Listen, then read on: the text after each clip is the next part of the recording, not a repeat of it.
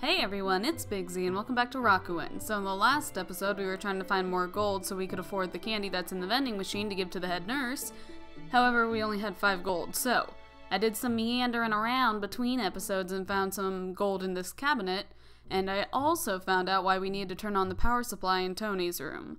Because when you come over here, I forgot about this door, but apparently it needed power, so now, if you look at the doorknob, we can put a passcode in for the door. So, also, I never noticed his name is Boy.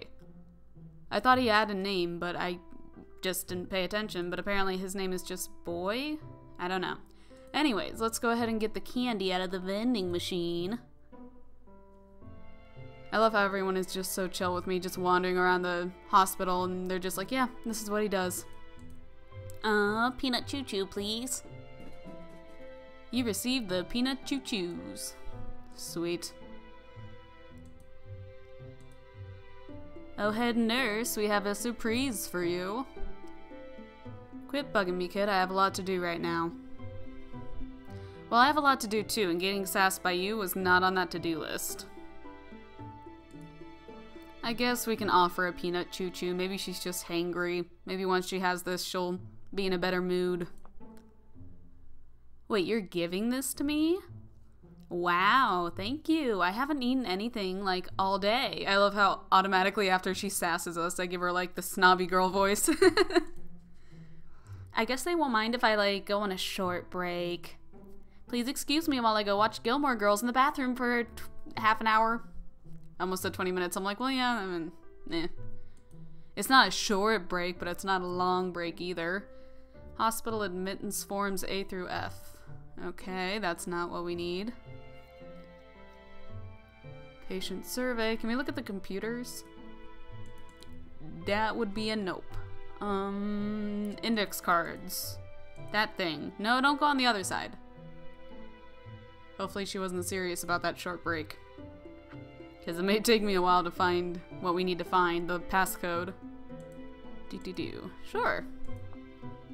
Towel Cape Heroes, a group of fun-loving volunteers and patients working together to make the hospital a better place for everyone. Cool.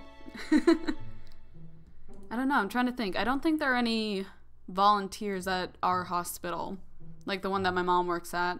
Like there are people who donate stuff and there are people who make like little beanies and stuff for the babies, the newborn babies, so their heads don't get cold. But I don't think there's anyone who like volunteers their time. That doesn't work there.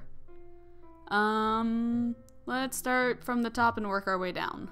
Assortment of books and pamphlets, newspaper clipping, sure. Already strapped for resources, hospitals are unable to accommodate new patients. Okay. Medical journals. Laminated card, sure. Closet 5C passcode 1721. Gotcha, gotcha. Okay, let's do that before I forget. 1721. 1721. The year is 2017, and you need to be 21 to drink. That's how I memorize things, or at least it usually helps. To make up a little story or something, make up a little fun fact. Okay, so seven, two, one. Da da da da. Oh. I was gonna do like the little the little Zelda da da da da, but now I'm just like da da da no. okay. Um, can we turn on a light so it's a little less intimidating, a little less eerie? Someone's weathered journal. Sure, I'm feeling snoopy today. Not the dog, but like snooping through people. Anyways, we weren't able to keep everyone alive, but we tried our best. Way to bum out the vibes, dude. Positive vibes only in this hospital. I don't know. um, lower cabinet. Yeah. Look underneath. Found a key for this small cabinet. I feel like I'm saying cabinet weird. Cabinet? Cabinet. I don't know. Uh, was there anything on the middle shelf? I don't think so. Sure, read whatever it whatever it may be. 14th of March, so this is before the other one we read. The NSA said the number of people exposed to radiation was expected to rise. Workers in protective clothing scanned people arriving at evacuation centers for radioactive exposure. Okay. We already read this, right? Yeah. Okay. Sure, open the cabinet. Why not? I think that's what it was. I wasn't saying cabinet, I was saying cabinet. I don't know. There is a laminated card laying at the bottom of the drawer. Sure, read the card. 2954. At 29 years old, I'll eat 54 Oreos. I don't know. Look, I told you that they're like little stories and little fun facts, but they don't always make sense. It's just whatever helps my brain, I guess. That and I feel like that would be a serious stomach ache, eating 54 Oreos. Are you like a really old Junkrat or something? He looks like he has like Junkrat's wheel around his body because it has like little spikes on it, but it looks like a tire. I don't know. Um, what's over here? Medical books. How exciting. What does that say? What does the clipboard say? Attention staff, a representative from Cody Keode Construction is coming tomorrow to survey the damage. Please make sure all personal materials are removed before then. So is there some sort of like, I don't know, nuclear fallout or something? Because they had people were be people were be tested, uh, people were being tested for radioactivity, and now there's renovations happening to the hospital. I don't know. Ugh, why is it making that noise? I hate that noise. It's like a squeaky wheel, like a loose wheel. Or like, if you guys remember, back in the old days, we had pencil sharpeners that would be on the wall and they were made of metal and they looked like a really like oval tin and then they had like a little crank on the side and you use that to sharpen your pencil and they almost never worked. Uh, it kind of sounds like that, like when you were sharpening your pencil, it'd make that squeaky sound. Anyways, um, a pair of glass speakers. Cool. Awesome. Let's turn the lights in here. Turn the lights on in here too. Bleh. Words. Can we go this way? It's locked. Well, then let's follow the creepy dude. Okay, can't follow the creepy dude. Um, maybe if I paid attention, I would see there's a, a maze of boxes. Or boxes that look maze-like. Uh, no, yeah, no, I totally got this. Um, okay. Well, yeah, we have to move that one. Then we go up one and move you to the side. Can we, can we, can we, no? Reset. this may take me a hot minute. I'm never very good at puzzles like those. Where it's like you have to move things in a certain order in order to get the passage clear. I'm not very good at these, so give me a second. Can you go over one more? Nope. Oh, wait, you can go up here. And then you can go to the side, and then we can go here, and you go to that side. There we go. I was making it more complicated than what it was, or I guess I was... I thought it would be more complicated than what it looked like. Anyways. Pull the lever? Yes, pull the lever. You may not be Kronk, but you can pull the lever. But not my lever, because that's in my body. I don't know. okay. But he went through that door, the other duder. Oh, this doesn't lead to another place. I mean, it does, but it doesn't lead to, like, another room? I don't know. Hopefully you guys get what I'm trying to say. Da-da-da, sure, take whatever it is. Key to metal door. Hooray! If only we knew where there was a metal door. Okay. I'm kind of curious now about the subplot that's going on. About, like, people being checked for radioactivity and, uh, the hospital getting renovations. Hey, what up, old junk rat? I don't know. That's his name now. What's over here?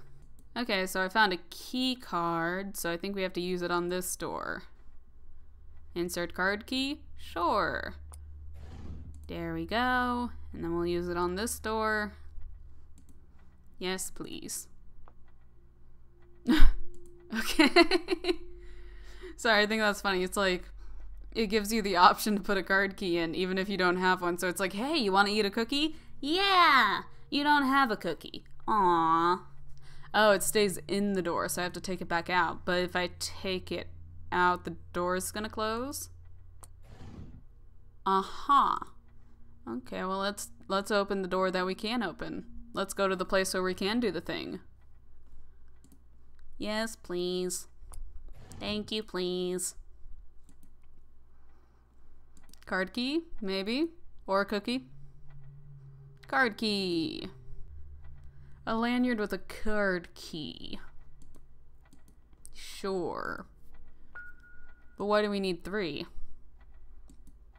I don't know. Maybe we need them for the next area. Mm hmm yeah, yeah, yeah, yeah. Card keys. Yeah, yeah, yeah. Take the card key. Yeah, yeah, yeah. There we go. So how do we get past this? Do we just walk through? Yep. I love how I didn't go near that area at all because I was like, wow, that's roped off. Obviously, we can't go that way. But it was just that simple. I went through and tried to find card keys for the doors before I went through a simple rope. I don't know what that says about me as a person. The door is locked and notice is posted here. Sure, reading leads to learning, and learning leads to doing something smarter, I guess? I don't know. For security purposes, all three supervisor card keys must be inserted in order to open this door. Great, so you're saying I could have kept the card keys in there. I thought maybe we need them for the next area. I don't know. How'd that one dude get through here without putting all the card keys in? Riddle me that, game. Maybe he has, like, magical superpowers. That'd be pretty neat. Uh, yes. Da da da da. Okay. Why is there a shovel next to the door? I don't want to know. Is that normal? I don't know. I've never been to a construction zone before. Why is there a fish on the ground? I have a lot of questions. Hey, it's our book.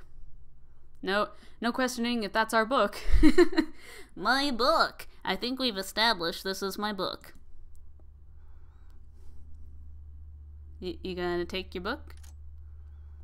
Hey, old Junkrat. Ah, you have a lovely smile. It's a little late for visitors, don't you think? Who are you? Oh, I'm no one important. Uh, yeah. Apparently, I'm Goofy. But if you want to call me something, you can call me Uma. Okay. Are you the one who's been stealing food from the cafeteria? Did you take our book? Eh. I guess you can kinda call me red-handed. Why would you steal from a hospital? I'm hungry. Down on my luck. What do you want me to say, kid? Wait, do you live here? For now. Not much of a home, but it beats sleeping on the streets. oh. I'm sorry, you don't have a real home. Eh, you get used to it after a while. So kid, you hungry? I've got a bit of fish head left from last week if you'd like. Uh, that's okay. But thank you. Look, kid. I'm really sorry I took your book. Please, take it back and forgive me for my lapse in judgment. It's okay.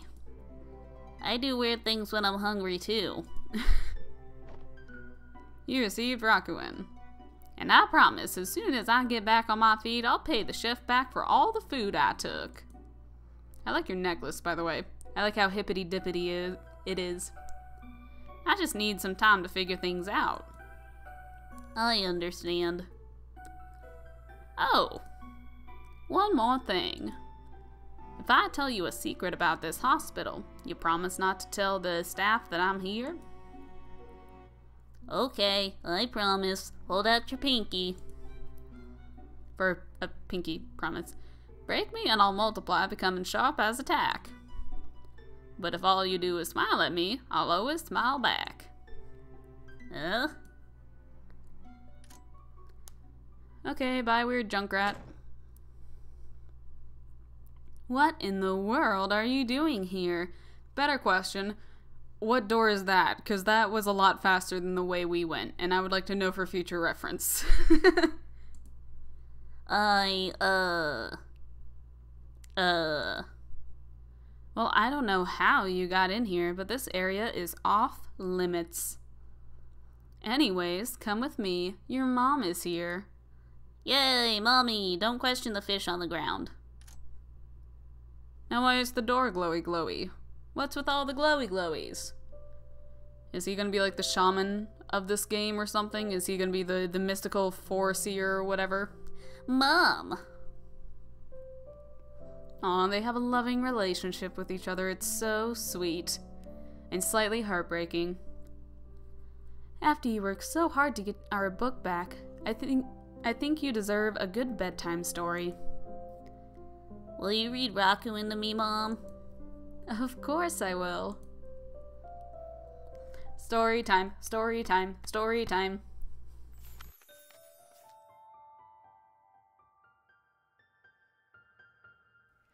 Once upon a time, there lived a boy in a faraway land called Morizora's Forest.